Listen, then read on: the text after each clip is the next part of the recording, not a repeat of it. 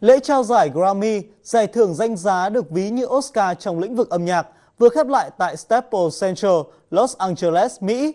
Họa mỹ nước Anh Adele đã thắng lớn với 5 giải, trong đó có giải album của năm, bài hát của năm và thu âm của năm.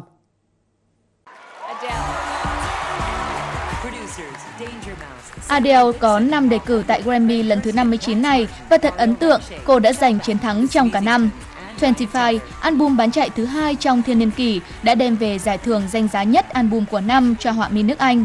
Cô đã vượt qua Beyoncé, đối thủ cạnh tranh chính của cô ở giải này. Beyoncé có 9 đề cử nhưng chỉ giành được 2 giải, trong đó có album đương đại thành thị xuất sắc nhất. Lên bục nhận giải album của năm, Adele đã dành nhiều tình cảm cho Beyoncé. Cô liên tục nói I love you và gửi tới nữ ca sĩ da màu những lời có cánh. Beyoncé, cô đã rất vất vả để trở thành một người mẹ. Điều đó rất khó khăn. Tối nay, thắng giải này khiến tôi cảm thấy như mình quay trở về với bản thân mình. Nhưng tôi không thể nhận giải thưởng này, tôi cảm thấy kém cỏi, cảm thấy biết ơn và được ban phước. Nghệ sĩ của đời tôi, Beyoncé và album của cô ấy thật là một tượng đài âm nhạc.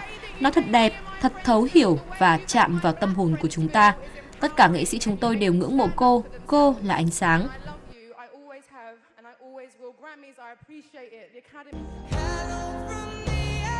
Ngoài giải album của năm, Adele còn ẵm chọn các giải bài hát của năm, thu âm của năm, màn trình diễn solo pop xuất sắc nhất đều với ca khúc Hello và album giọng pop xuất sắc nhất với album 25.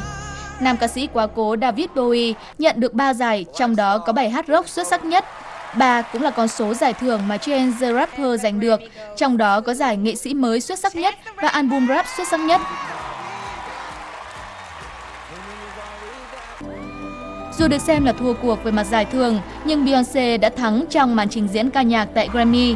Đang mang bầu một cặp song sinh, nhưng Beyoncé vẫn xuất hiện như một nữ thần trên sân khấu và bùng nổ với ba ca khúc trong album Lemonade. Album đoạt một giải Grammy năm nay của cô.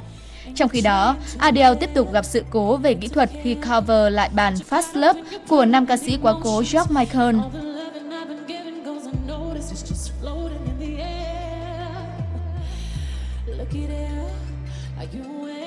Grammy năm nay cũng rất nhiều màu sắc với các tiết mục của Lady Gaga, Bruno Mars, James the Rapper,